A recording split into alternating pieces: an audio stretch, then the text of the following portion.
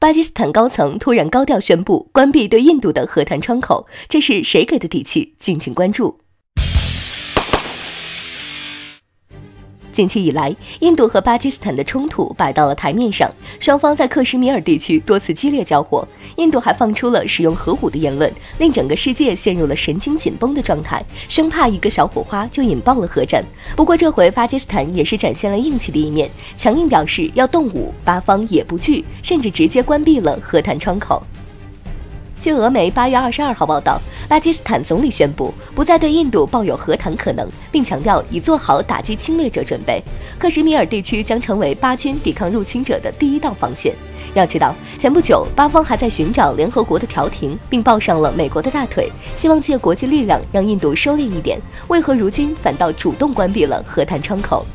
需要注意的是，近期巴方第八次雄鹰联合空军演习计划全面开始，其与自己的全天候盟友在西北边陲基地开展全面演习，这也是双方的第九次联合空军演习。此次巴方派出了枭龙、幻影和预警机等多型飞机参训，全天候盟友也派出了包括歼幺零 C、歼幺六、歼轰七 A 和预警机等多型飞机在内的庞大飞行阵容。据悉，巴方对此次军演高度重视，多次强调这是重型多用途战机歼幺六首次向巴空军展示，体现了盟友之间的坚定支持和绝对信任。因此，不少分析认为，或许正是因为全天候盟友的有力支持，给了巴方关闭和谈窗口的底气。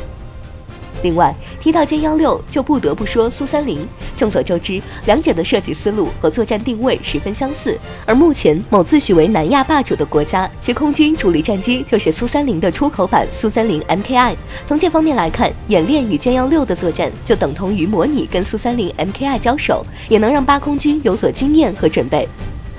必须指出的是，双方举行联合军演是正常的军事合作行为，而且双方都强调此次军演不针对第三方。但就目前印巴的紧张态势来看，恐怕新德里免不了坐立难安。